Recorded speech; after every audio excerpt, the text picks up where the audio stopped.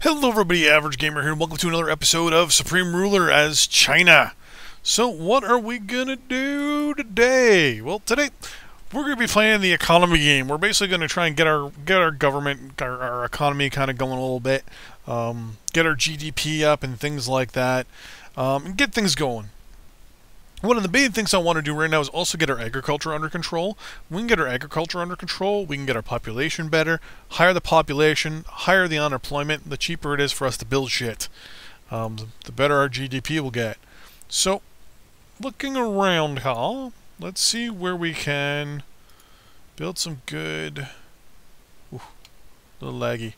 Looks like former Ukraine territory is pretty good for for the agriculture. I'm not mistaken, Ukraine used to be like the uh, the breadbasket of the Soviet Union. We're just gonna we're gonna do about a hundred of these things.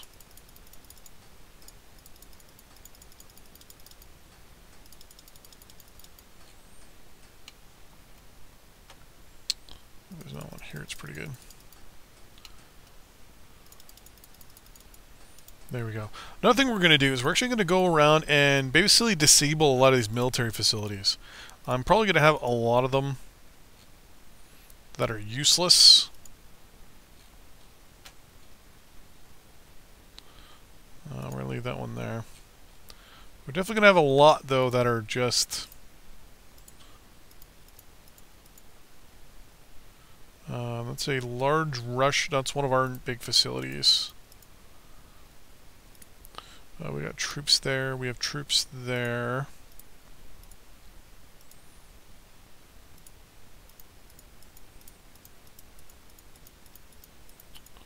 Should have a lot of these that just have nothing connected to them.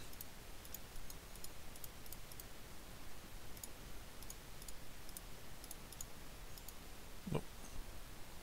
Really, why do we have all these non-active... Research. Oh, because I turned them off in one of the episodes prior to. Shit. Okay. Uh, so yeah, we have lots of research shit here to do as well, don't we? No, we don't. Jesus. We're definitely getting into a... Uh,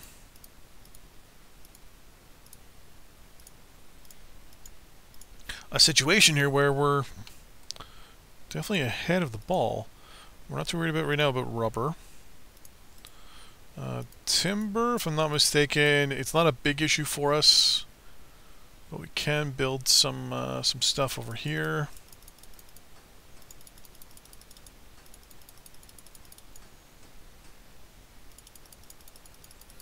That's good. Okay, so oil, gas. Um, as you can tell, not going to be a problem for us anymore. Um, we have more than enough oil reserves now in our country to last out just about anything. I mean, we're going to have to build up our uh, our supply a little bit better. But once our supply is high enough, we'll be making more oil and shit like that. Oh, there's some stuff down here. Didn't even know about it. Uh, spot here and here. There's a spot here. God, no wonder Russia has so much oil on the market in real life. Jesus.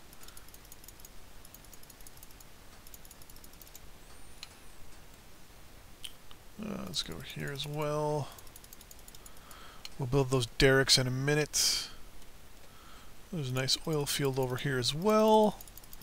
I mean, we already way more than we need to. But right now, countries are buying it from us like crazy. Because we're probably the number one producer. Probably by far. Supplies haven't worked all its way down that way yet, or out that way. Yeah, our supply's still working its way. We'll build a a seaport there somewhere.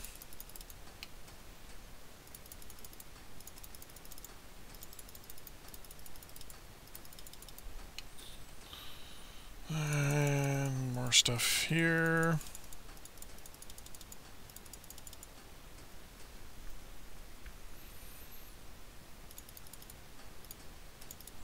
Well, let's build that port seaport right now. Build military. Scroll down here, seaports. There. Little build and it'll fill that whole area. Coal. Working in a coal mine. Holy crap, crap, crap. Let's just slowly work our way around a little bit here. We're in a really good spot when it comes to natural resources. The fact that Russia invaded us and basically has now given us free reign to do whatever we want with theirs. I, uh, I have no problems with taking full advantage of said resources. Might take a little while for our stuff to move that way. Lots of coal out this way.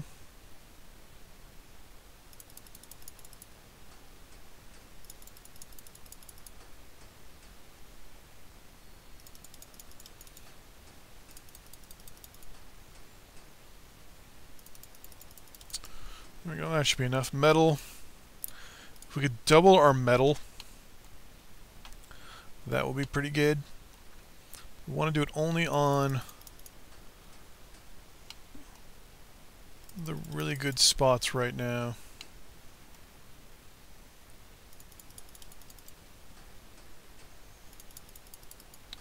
Though later on we'll get composite uh, ore from our research.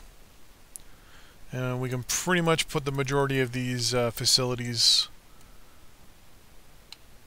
away and close them down. Jesus, that's a lot of ore here.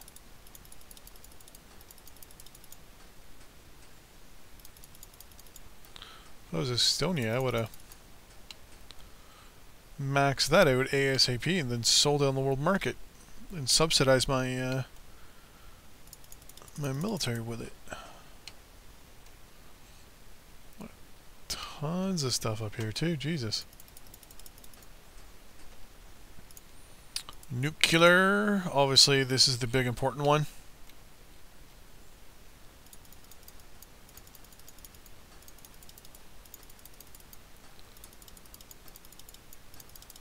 We want as much of this that we could utilize.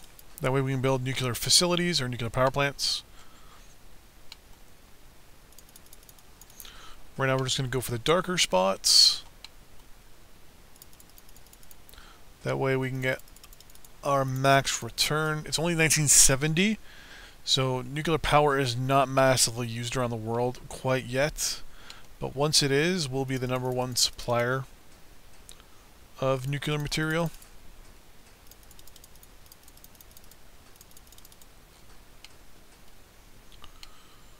And I think that's pretty good for now. Power, we're going to build a whole bunch of uh, hydro dams. We're actually going to set this to fastest. We're going to start building these hydro dams.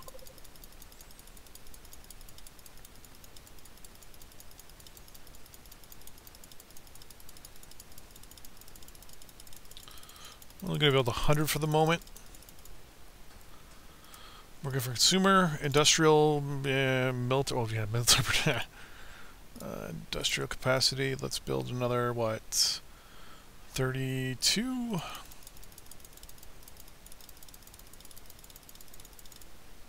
Yeah, 33 is fine. And there we go. Now we're just going to let things sit and ride out and uh, decide. Actually, we're going to also cut our military production for the moment. As well.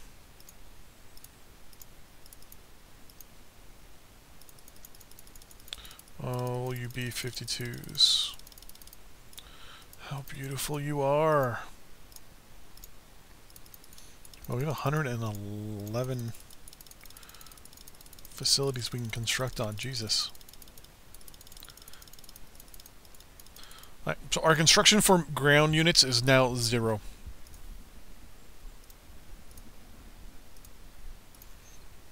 There we go. Our research is going. Yeah. So the whole plan for the next little bit is basically to. I mean, we're already rather self-sufficient as it is. The plan will be to kind of become more self-sufficient, maximize all our resources, and basically try to sell them overseas. Try to you know, utilize third, uh, you know, third-party countries. So we can kind of be like, okay, well, hey, just so you know, you know, we'd be kind of interested in. Uh, Russians are trying to sell us petroleum. We'll take it. Let's look to see what we have in, in spades here and we can sell. Uh, consumer goods, we got 60,000, oh, we got uh, 123,000 in stock. Industrial goods, we have 2.3 million in stock. We have 19 million military military goods. Um, with how militant Malaysia's gotten recently,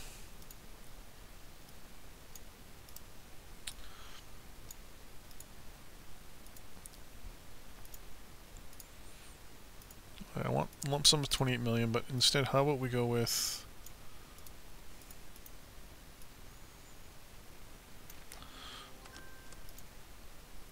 Twelve point four. Let's sell some of this, shall we?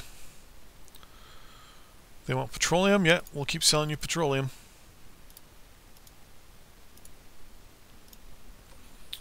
Uh, let's go to oil because they the Malaysia play has a large military force and they're all active right now. That's probably the reason why they're using up so much. Really.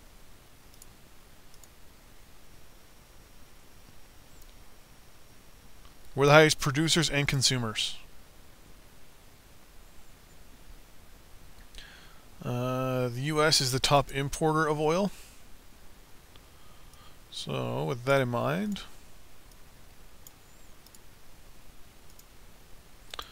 it's that's a lot of money, you assholes.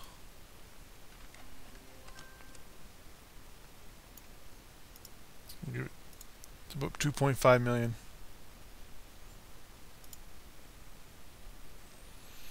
Uh, Malaysia still wants more oil. Take it.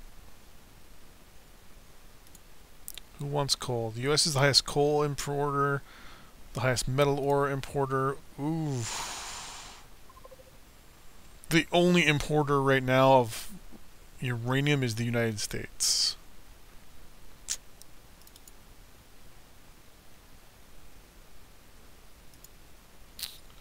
Do we want to give them some uranium? You know what? Let's give them a little bit.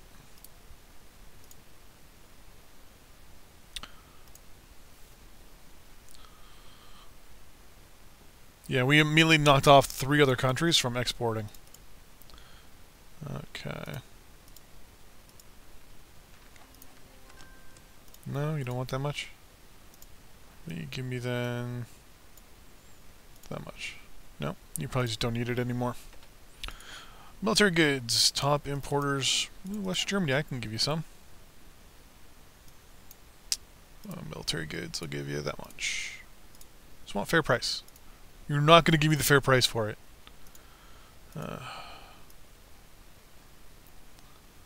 okay, how about six million then? Good. Uh, Bulgaria, you and I went to war earlier.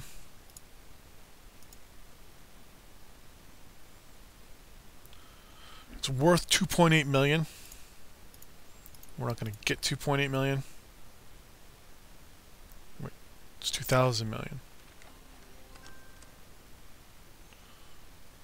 Uh, 177. Basically, the only thing to do in this game is to make the other countries happy is to get totally ripped off. I'll take those industrial goods. And I'll let you uh, buy petroleum from me. Greece, how you doing, buddy? Heard you wanted some military goods. You're not willing to give me, obviously, money's worth here. So how about you give me that much? No? That much? Industrial goods, yeah, okay. Poland, you and I went to war a while ago.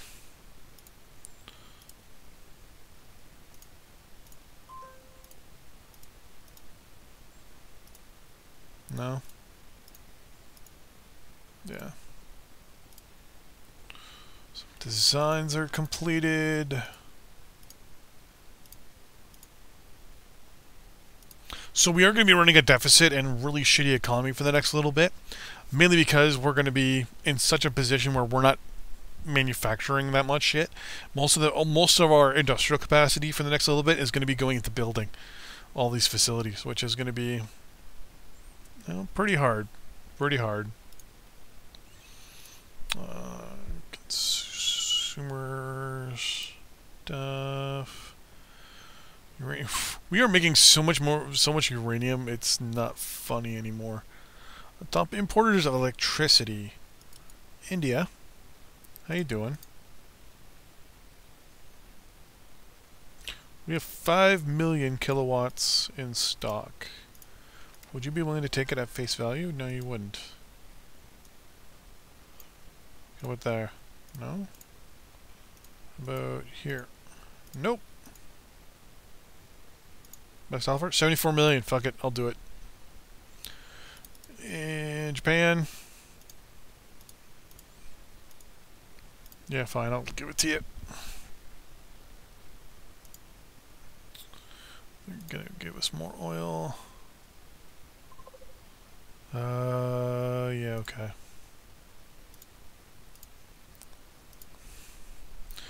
So yeah, so this is just going to be a quick little episode, so I'm going to put a pause in here. In the next episode, I might fast forward a couple years just to kind of get things a little more solidified and, and whatever. Uh, one thing I'm thinking of doing um, over the next little bit is kind of creating our own little power block of, uh, of allies. Um, or even maybe, I wouldn't say trying to take on Europe, but at least, you know, trying to put a little bit of pressure on them.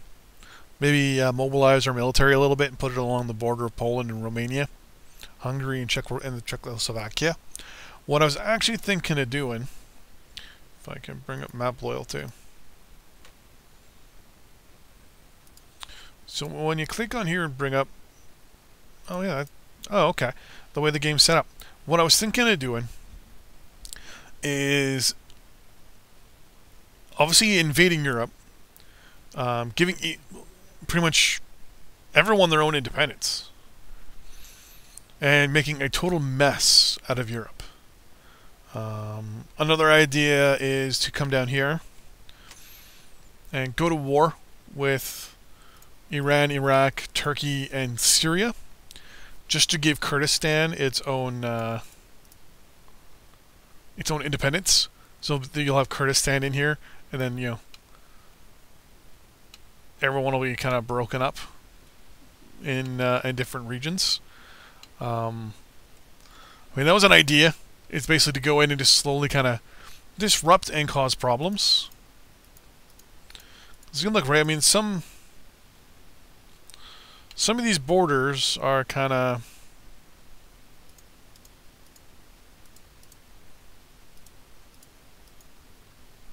I mean, like, there's another country right in here.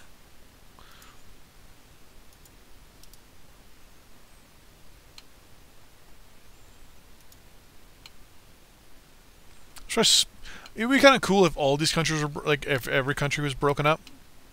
Um.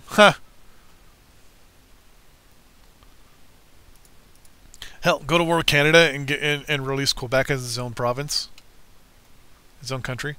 Um, the plan will be to actually go into Europe, you know, knock over some anthills a little bit, and in place governments that we want. So, for example, take on all these Eastern Bloc countries, including uh, Yugoslavia and everyone down here. Take them all out. When we're done, give them all their independence again. But all these countries here in Eastern Europe will have governments that we want in power. Um, so they'll all have communist governments. Kind of a good thing, right? I mean, we're already NATO. I think we're NATO. This is we're NATO aligned. Um, give me one second. Yeah, so we're um, kind of aligned with NATO, mainly due to the fact that we went to war with Russia. That's the main thing, right? Which is kind of funny. We're a communist country, but we're pro-West. Um, in actuality, we're actually trying to create our own little power by uh, turn that off. So, plan one for an invasion: built up a massive force along the Eastern Europe, along uh, the Polish, Romanian, Hungarian, and, and the Czechoslovakian border. At the right time, declare war and just just roll right over them. Just take them all out. Um, one thing I was thinking of doing, so we can be kind of, you know, seditious, is to go to war in Tunisia, capture Tunisia, and turn it into basically a part of our country. We're going to annex it. Then we're going to build some air force bases there, and the plan will be to overfly. So get some of our aircraft in the Ukraine, or in Ukraine and, and Kaliningrad up here, and have them flying from there all the way down and then back. Just have them go there and back. And that way we'll actually get to see large areas of, of the enemy countries, and uh, we'll get to see where their troops are. That's one idea. Um, another idea is just mass our troops along the border and throw AWACS up. Uh, so have our AWACS running just along the border and uh, seeing what uh, what what they can do. That's one idea. Another idea is to invade Somaliland here, or Somalia, as a foothold into Africa. We can have troops down here, and we can actually, you know, invade slowly further south, or even go further north. I'm still surprised. Um, oh no, they do have South. Okay, I wasn't too sure if South Africa had. Why is its capital up here? Why are you telling me your capital's up here? There's nothing there. Oh, there is. Pretoria is your capital? That was Cape Town.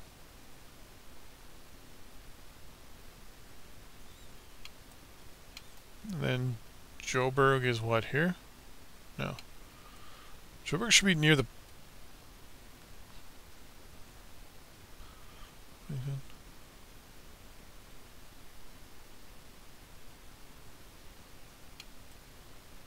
So I mean, jo Johannesburg should be around here somewhere, if I wasn't mistaken. Maybe I don't know. Maybe they didn't include it in the game. Maybe I don't know. I'll have to Google it. It's been a while since I've looked at a map of uh, South Africa. It's where my ex-brother-in-law is from. But anyways, so that's two plans. Plan number one, get involved in Africa via Somaliland. Plan number two, invade Tunisia in Africa, which also give us a foothold in Africa, and also would double as a um, basically a uh, air bases to hit southern Europe as well as to do overflights over Poland, Czechoslovakia, Italy, Austria, Austria, Yugoslavia, Romania, Bulgaria, and uh, Albania. Country that I always keep forgetting because they're just getting right there. But anyways, until next time, everybody. See you then. See you on the battlefield.